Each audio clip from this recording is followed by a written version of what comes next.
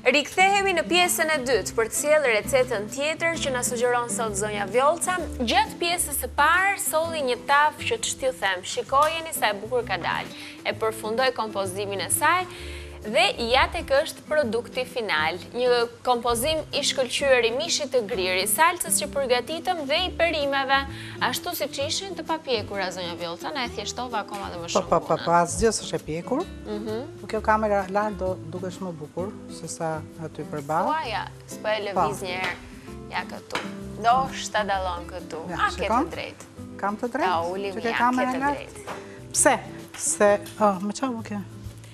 Sepse ne i kemi rregulluar. Sepse nuk janë ato të prera fiks mhm. gjërësia e perimeve. Kështu që duke marrë nga larg, ka një pamje më estetikisht më të bukur. Tani ta vendosim në furrë. Pra e shikoni që i kam hedhur këtu trumzë me vaj, pra vaj të aromatizuar me trumzë, mhm. dhe ta vendosim në furrë të mbuluar me letër alumini që po.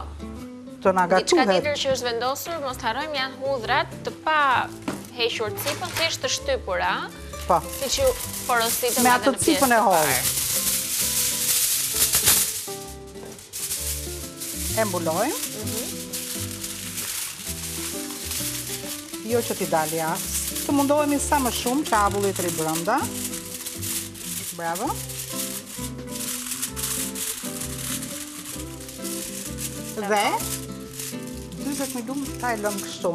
Pastaj do ta heqim letrën dhe lëmë dhe 15-20 minuta derisa e shohim që ajo merr një ngjyrë të kuqërremtë dhe pastaj verdiktin e jepni ju, nëse ju pëlqen apo jo. Po mendoj që do ju pëlqejë. Super. E çfarë është një turli?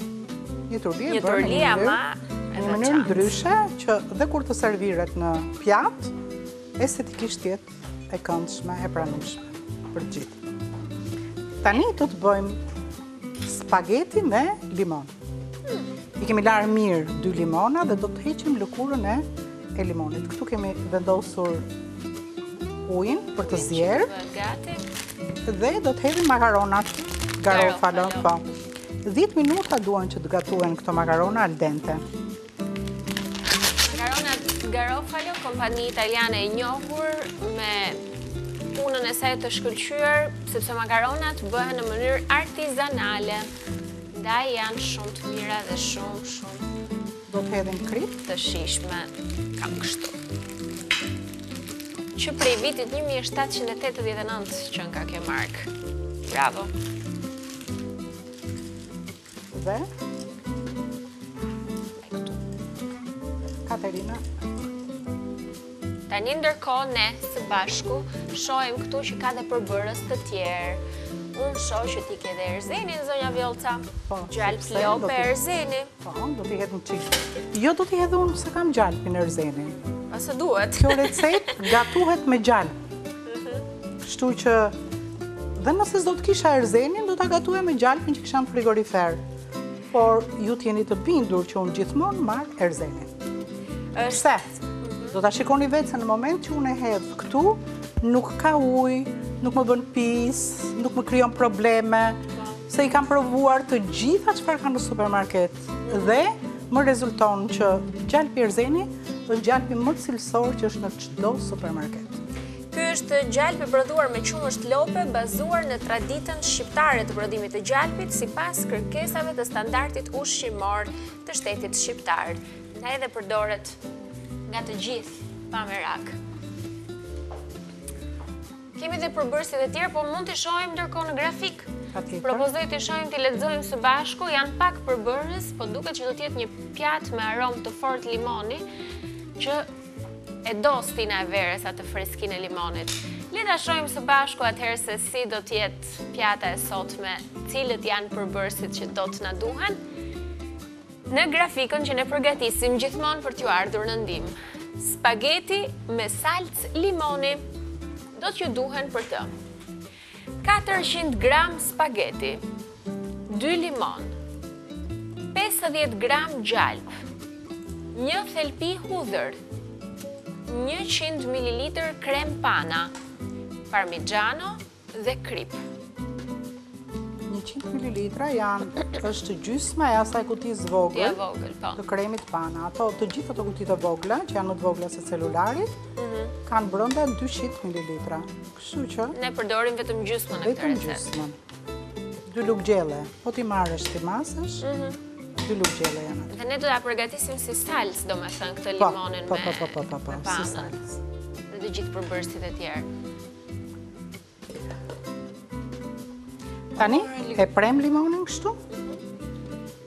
Hapim dhe këtu një çikë. Hedhim, kjo pakoja është 100 gramshe. Ne do të hedhim 50 gram. Do të hedhim gjysmën. Gjysmën pako. Po. Na orientojnë këto se kanë gramaturën e vet. Ja. Po. Orientojnë dhe ndihmojnë shumë, sidomos kur ke këto ëmbëlsirat që nuk duhet të shkelësh përmasat edhe nga receta, masat, të ndihmojnë shumë. Tani këtu t'i presim fije, fije, shiko, nuk e kanë pjesën e bardhë. Pjesa e bardhë ka mbetur këtu, unë kam dhe një, një instrument tjetër që mund t'i pres me të, po, ja. Do t'i presim pjerrtas në fije të holla. Ja, kështu. Do gatuhen këto, po. tek gjalpi. Ke gjalpi fillimisht do hedhim një thelpi hudhër. S'ka shkrirë akoma. Na duhet një lugë druri këtu, zonja Vjollca? Po, merre, një lugë druri.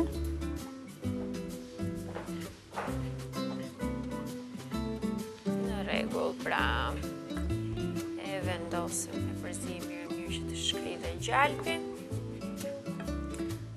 Në këto 5 minuta, ne do ta sjellim recetën.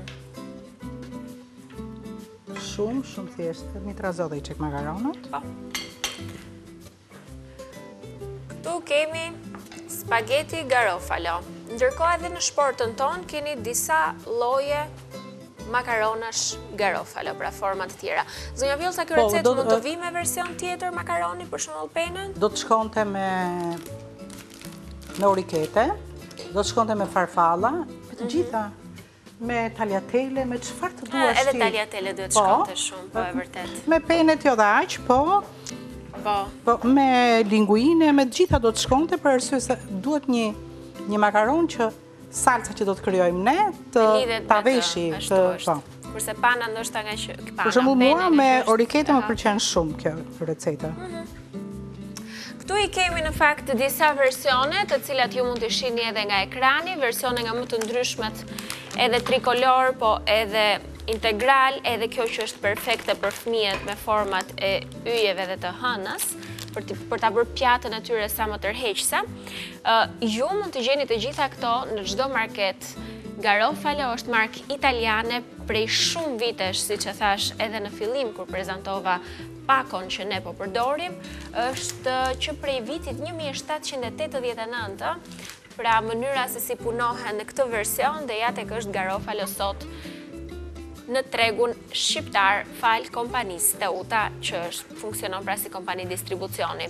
E shop.teuta.durrës.com adresa në të cilën ju mund të bëni blerjet tuaja online. Makaronat mund t'i shoqëroni fare thjesht kur nuk keni kohë të bëni gjëra të mira të shijshme vetë, kështu kombinime siç po na sjell Zonja Vjollca, tani mund t'i bini dhe shkurt me salcat e ndryshme që kemi këtu. Për shembull, këto këtu janë me salçiçe, që nuk jua kam treguar, janë shumë të mira.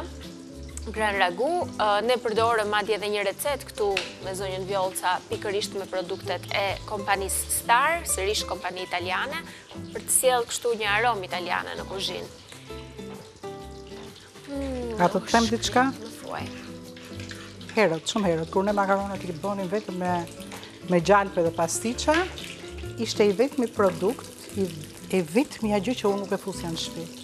Pse? Nuk i haje. Vërtet? Po. Tani me shumëllojshmërinë e makaronave dhe, mhm. dhe receta e brumit të makaronave sot nuk, po. nuk është si ajo më parë, mhm. Unë jam kujtuar që të konsumoj makaronat pasta. T'i konsumosh dhe t'i po. kombinosh po, në po, versione të ndryshme. Vërtet, receta duhet të jetë e mirë, me miell të mirë, me brumë të mirë e përgatitur. Është shumë e rëndësishme. Ajo e bën diferencën te makaronat e mira. Hm? Aromatizohet edhe me hudhrën edhe me limon. Shumë bukur. Tani hedhim dhe kremin tanë. Mhm. Jemi në 2 minutat e fundit. E largojmë gjithmonë hudhrën. Mbarova, unë kaq ishte. Do të hedhim çik lëng një garuzh dhe të lutem. Patjetër. Do dhe... Do dhe pak. Edhe 3 minuta që t'i largoj makaronat. Mm. E kemi këtë ka vetëm S'ka problem. Atëherë m'i kullo dhe m'i hedh të bëjë dhe çikë më shumë lëng. Këtu. Edhe jemi okej. M'i kullo dhe m'i sill makaronat këtu. Atëherë po të ndihmoj t'i kulloj te lavamani që tani. Po. Ja ku është.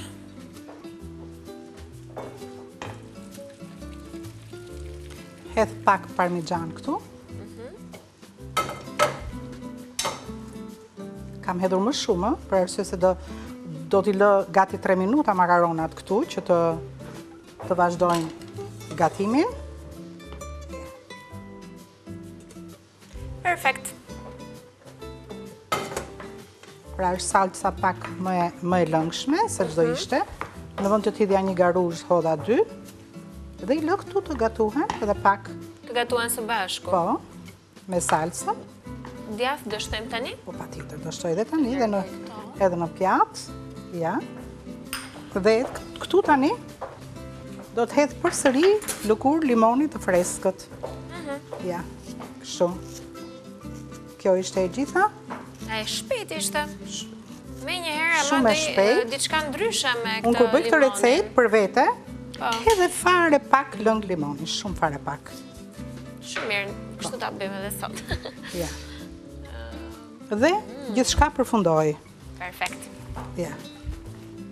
Kjo ishte dhe receta e dytë, e patë me pak përbërës, kishim makaronat, spageti, panna, vetëm gjysëm kutie, djath, limon, hudhër, gjalp. Këto ishin përbërësit edhe kripë sigurisht, vaj ulliri. Po, unë sot s'kisha nevojë as për një lloj salce, as për një lloj perimi, për arsye se Kjo recetë kombinohet shkëlqyeshëm me recetën e parë. Po.